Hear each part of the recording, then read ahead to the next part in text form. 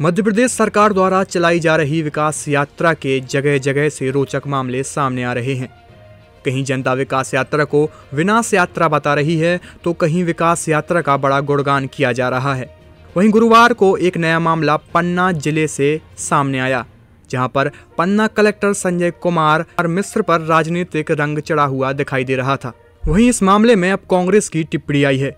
कांग्रेस के PCC member Pappu Dixit ने अमानगंज विकास यात्रा के दौरान भाजपा के पक्ष में लोगों को संबोधित एवं भाजपा के एजेंट बने कलेक्टर पन्ना को तत्काल हटाने की मांग की है। उन्होंने कहा कि एक आईएएस अपने पद की मर्यादा बनाए रखें।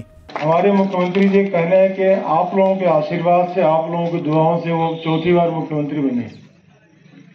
माननीय मोदी जी कहते हैं कि पचहत्तर साल हो गए देश को आज़ाद हुए। आज़ादी का अमृत काल चल रहा है और शताब्दी 25 साल बाद मनाई जाएगी। हमारे प्रधानमंत्री जी का सपना है कि जब शताब्दी मिले तब भी यही सरकार रहे। पहले आपको अगले 25 साल तक इसी शिद्दत से, इसी मेहनत से आपको इस सरकार के साथ आपको बने रहना है। किसी के भटकाने, किसी के भरमाने में आने की बिल्कुल ज़रूरत नहीं है, क्योंकि ये सरकार पहली बार है अभी रात के नौ बज रहे हैं। सारे जिला स्तरीय अधिकारीगण हमारे यहाँ बैठे हुए हैं और किसी को नींद आती नहीं दिख रही होगी। सबके अंदर उतना ही ये माननीय मुख्यमंत्री जी ने साफ़ कहा कि ये आप लोगों की सेवा का हम लोगों को दुर्लभ मौका मिला।